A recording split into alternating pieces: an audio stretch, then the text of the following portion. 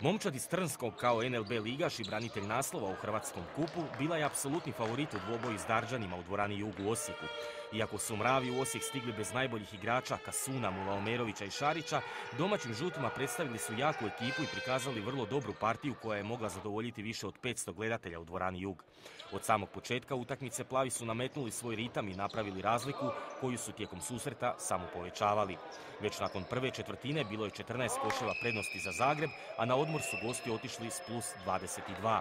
U nastavku utakmice vidjeli smo bolju igru žutih tek u pojedinim trenucima, a raspoloženi su bili tek Krolo i Bičvić.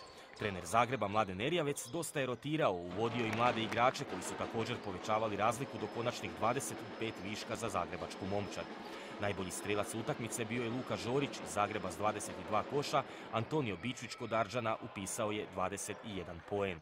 Ostaje dojam da su domaći mogli pružiti bolji otpor, no trener Brokera nije nezadovoljan prikazanim od strane svojih izabranika.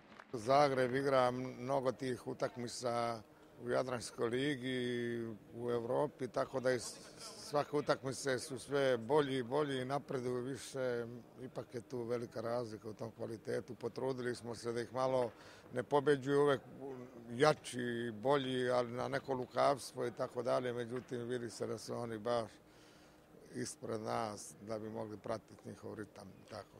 Trener baranskog prvoligaša vidi napredak u igri svoje momčadi te očekuje bolje rezultate sljedeće godine, a veliku nadu polaže upravo u mlade igrače s kojima radi na uigravanju i sazrijevanju, te naravno stvaranju velikih igrača od njih.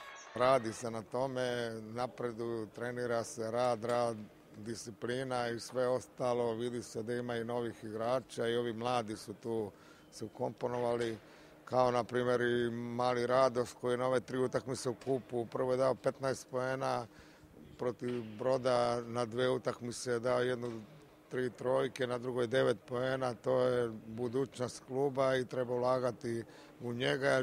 A ne samo u Radoša, već i u ostale mladiće Baranskog kluba poput Mateja Rakitića, Krištofa Gmajničkog i ostalih. Unatoč stvaranju nove momčadi, ostanak u A1 ligi ne bi trebao doći u pitanje, vjeruju u Darbi.